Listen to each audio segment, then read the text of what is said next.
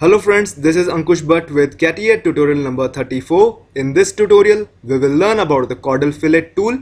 On the left hand side, we have CATIA V5 window and on the right hand side, we have step-by-step -step instructions for the tutorial which you can write down.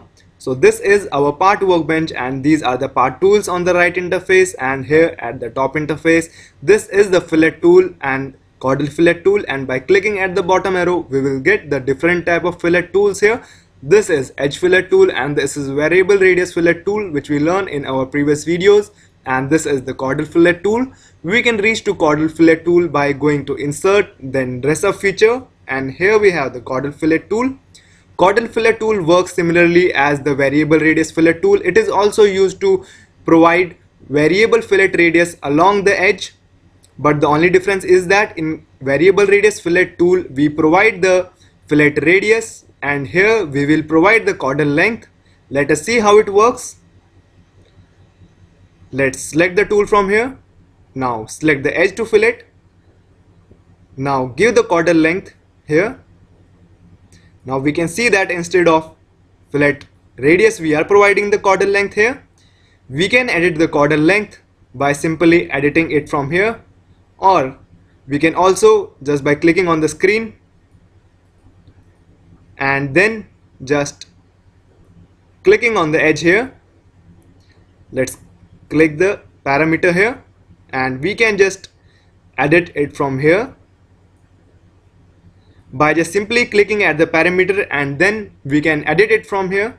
Like we can see that the second parameter is not changing but this parameter is changing and the color also has been changed to orange. Orange color represents that this color is being selected to edit so now let's change it to 63 and by single clicking at the parameter we can just change the parameter here.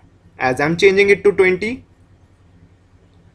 or I can also add some more points to the edge to add some more variable chordal fillet length by just going to points here.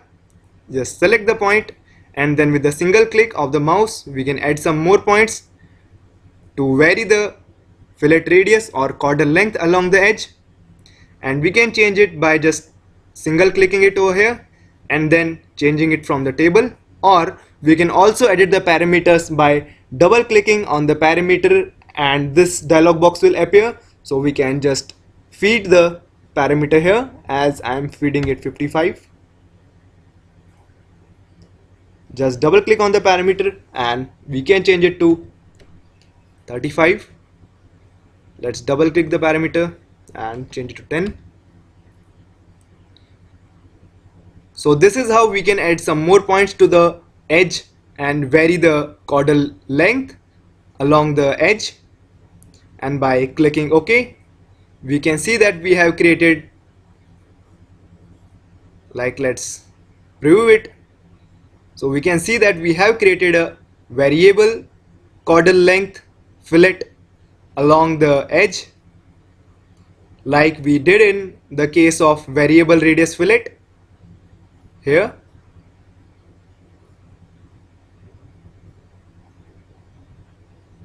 here in this case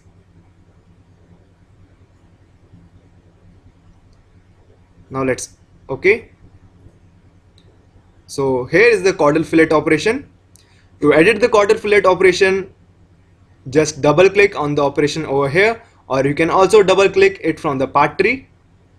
Now let us see if we add some more edges at the same time. Just select the edge. Now select one more edge. Select this edge also. But we will see that while editing the parameter over here it will just edit the latestly selected edge and will not edit the previously selected edge as it was in case of edge fillet that by just changing the parameter at once you are you were able to change the parameters of every selected edge. But it's not in this case. It will only just edit the parameter of latestly selected edge as in this case is this edge. So we can see that every other parameter is not changing but just this parameter is changing. Let's prove it we can just provide or we can just edit the parameter by just clicking on these parameters here and just then providing the parameter individually.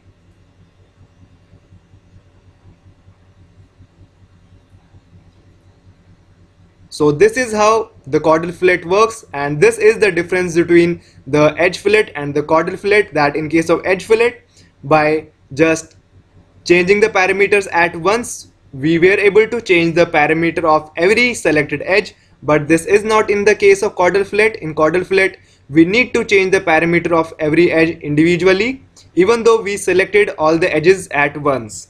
I hope you like this video and thanks for watching this video